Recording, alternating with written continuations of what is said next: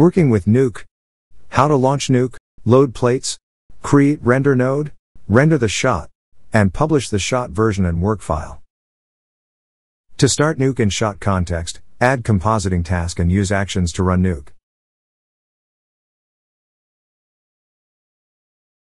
Note that project is configured to allow two Nuke versions. OpenPype makes initial Nuke script setup. It is the same as running apply all setting option from OpenPype menu. Format, frame range and color is set. Let's save Nuke script as a work file.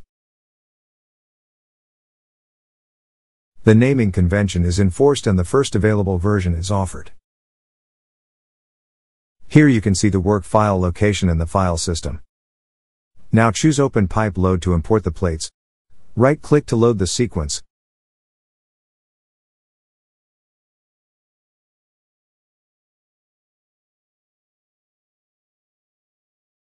Select the main plate and choose OpenPype Create to create the write node.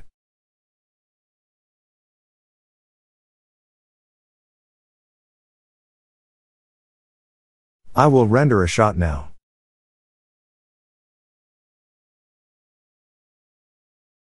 As you can see, the render is versionless. Now is a good time to check your render, but let's skip that for now. Note that the render node is set to use existing frames. Let's publish the shot version and the nuke script. Choose OpenPype Publish. I have filled the artist node and kept the intent as a test. Local Publish renders the thumbnail and extracts the review movie from nuke. FFmpeg is then used to make H264 review with burn-in. Finally, Publish copies and renames renders to Publish folder.